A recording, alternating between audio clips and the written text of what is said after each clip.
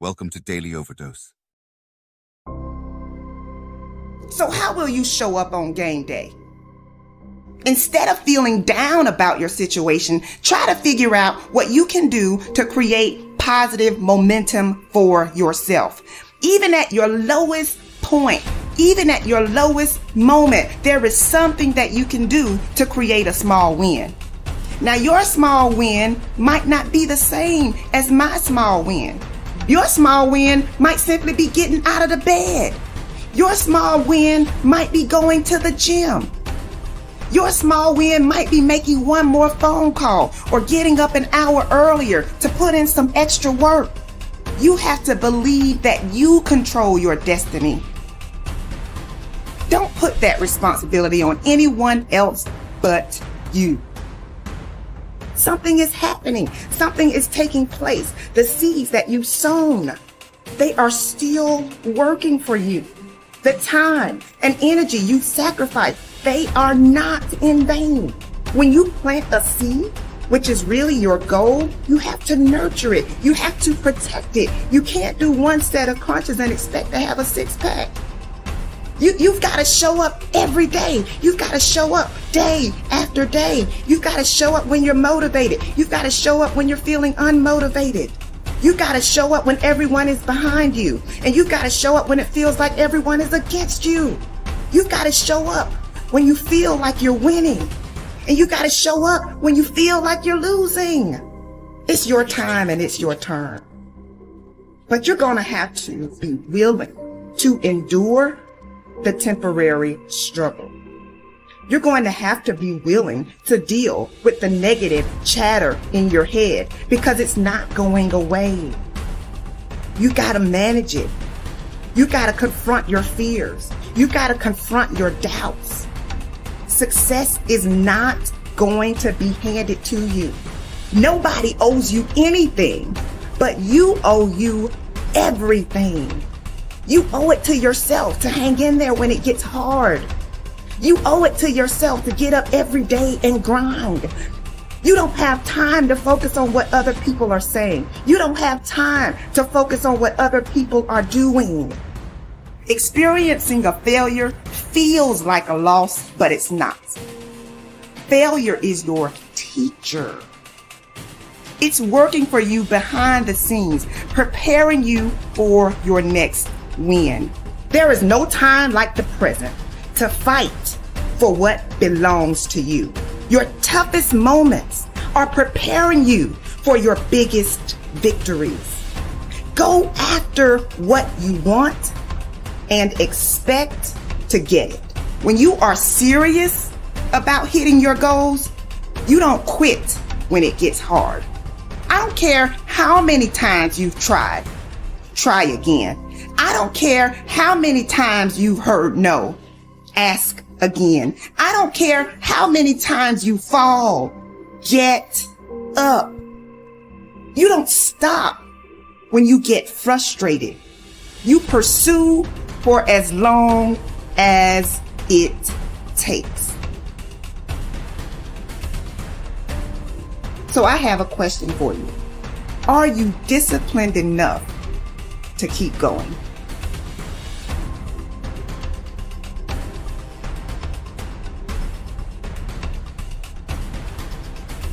Growth is about one word progress. What do you want for you, and what do you need from you in order to make it happen? So, if you're still consumed by what happened last year, last month, or even yesterday, guess what?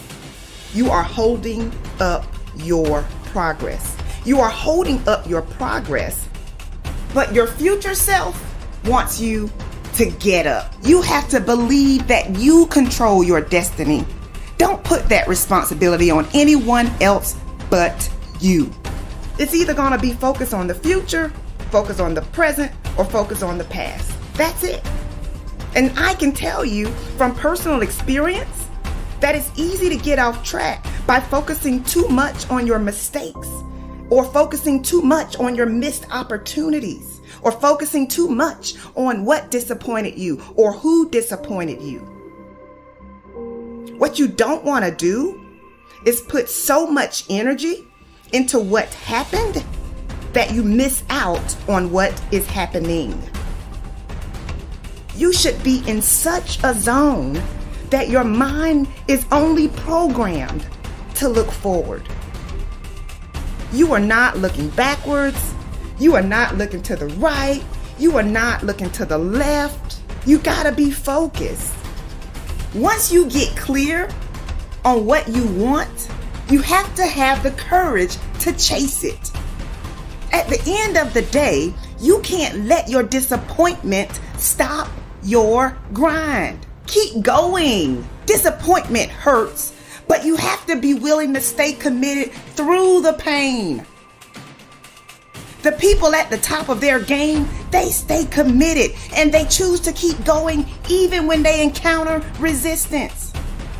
If you are pursuing something big, guess what? Opposition is coming. Difficulty is coming. Unexpected changes are coming. You can't control everything, but you can control your response to everything that happens in your life. And so if you are determined to keep going, You've got to understand that your current challenge is just another hurdle for you to jump over. What you are up against is beneath you. It seems big because your mind and your feelings have convinced you that it's big. It seems big because you have already determined that what you're going through is too much for you to handle. But it's all about perception. You can view your challenge as an opportunity or you can view it as a threat.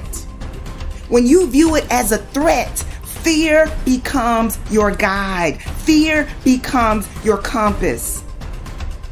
But when you view it as a challenge, determination becomes your guide. If you look for a reason to quit, you're going to find it. But just like you can come up with reasons why it makes more sense to quit, you can come up with reasons why you have to hang in there. Do you realize that your struggle is simply strength training? Falling down happens, but staying down, that's a choice. When you experience a setback, you can be discouraged or you can become more determined to keep going. So, how are you managing your thoughts? Your mind can be your greatest source of fuel or your greatest hindrance. Every time you follow through on doing what you didn't think you could do, you improve your confidence and your mind gets stronger.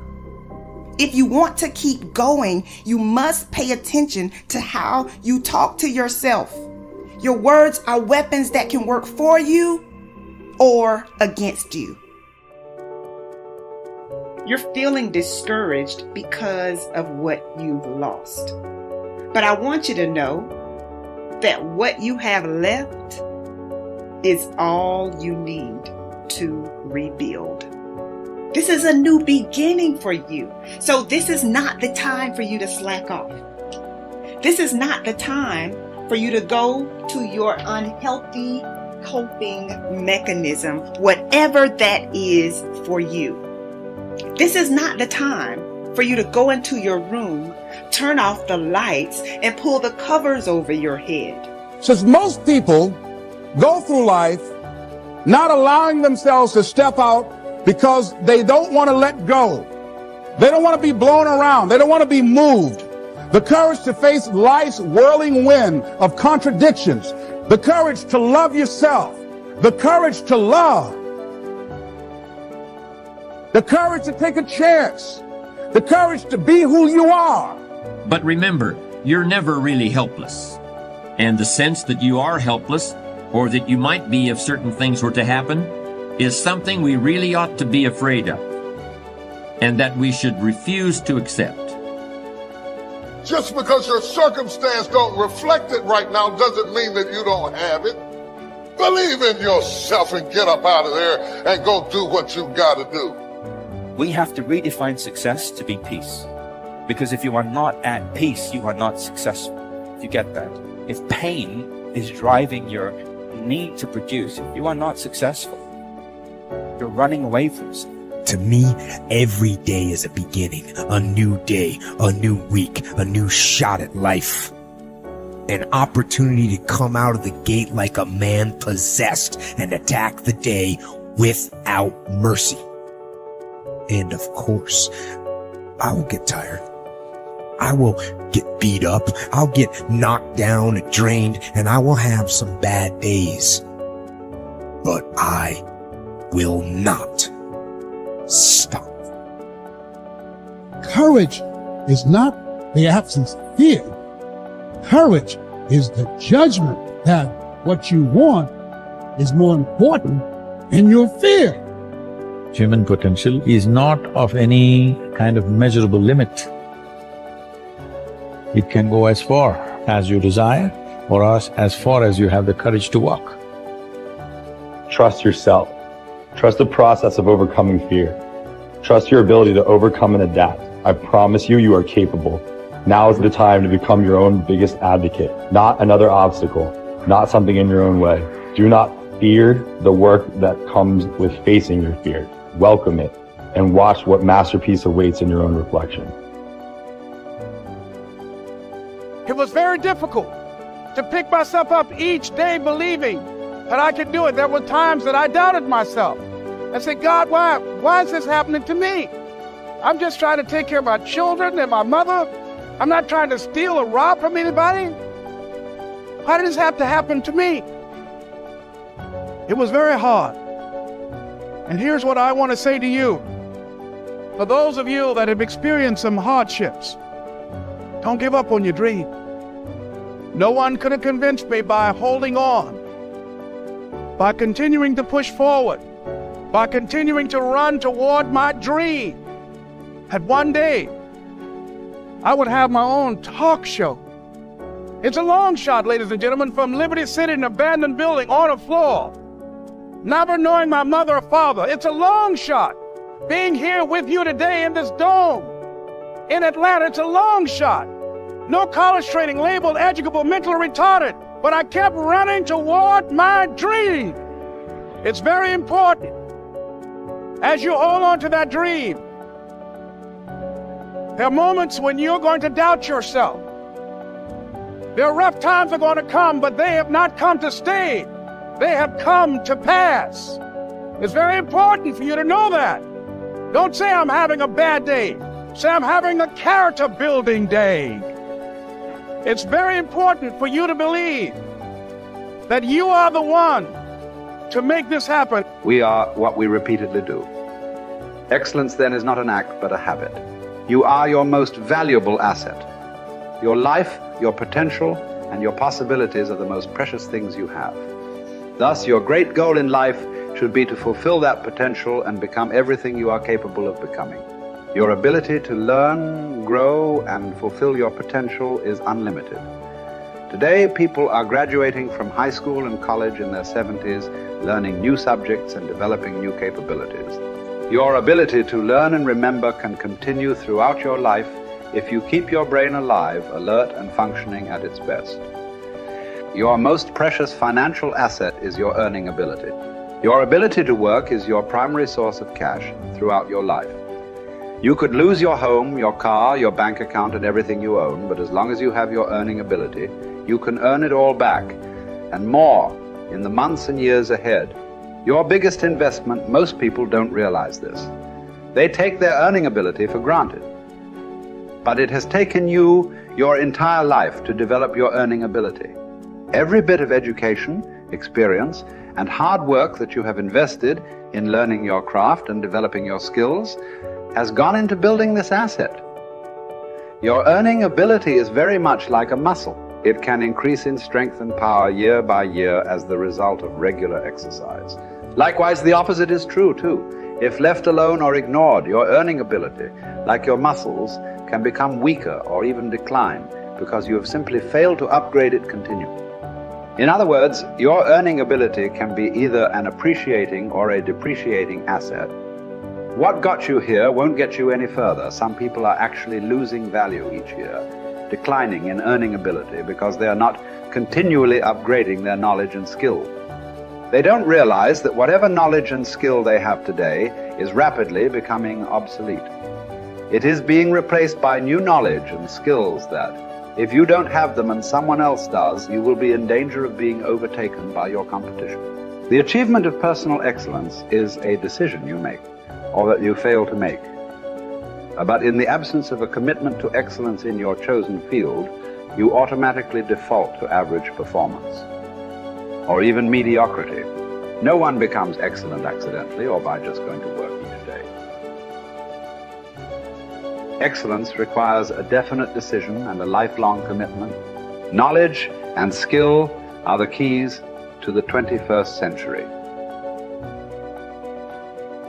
Becoming the best person you can possibly be and moving to the top of your field require the application of self-discipline throughout your life.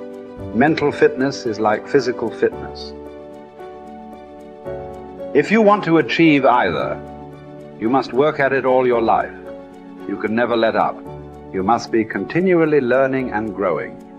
Every day, week, and month, throughout your career, and in other areas of your life.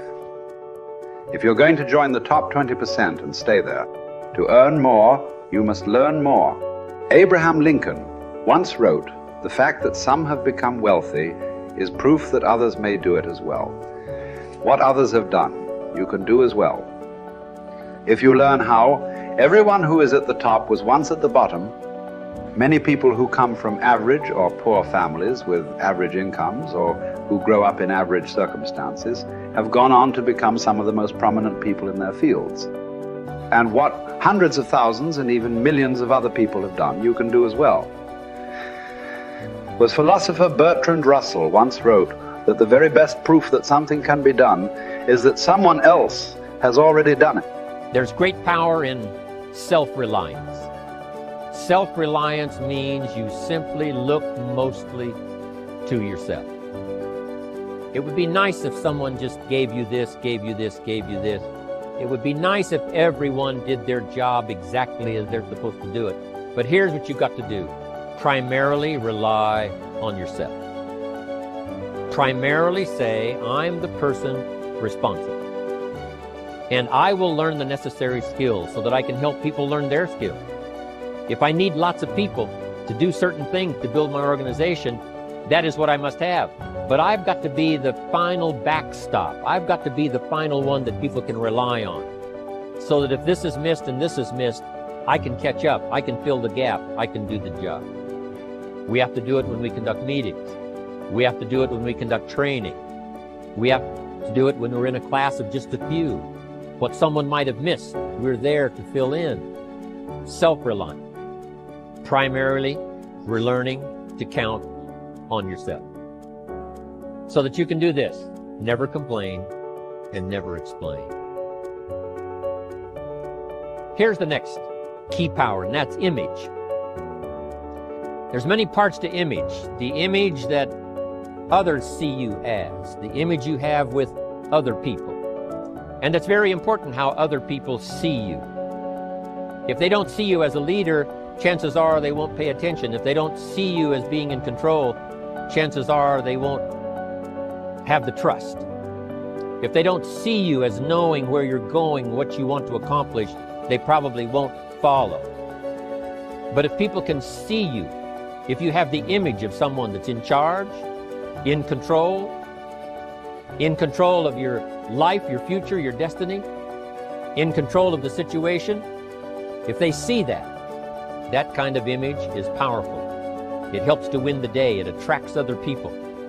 People want to be around people that are in control, that are powerful, but they know how to use their power, influential, but they know how to use their influence. That kind of image is important.